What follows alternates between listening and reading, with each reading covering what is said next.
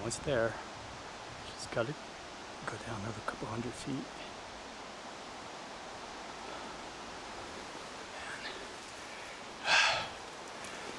This stretch is freaking hard.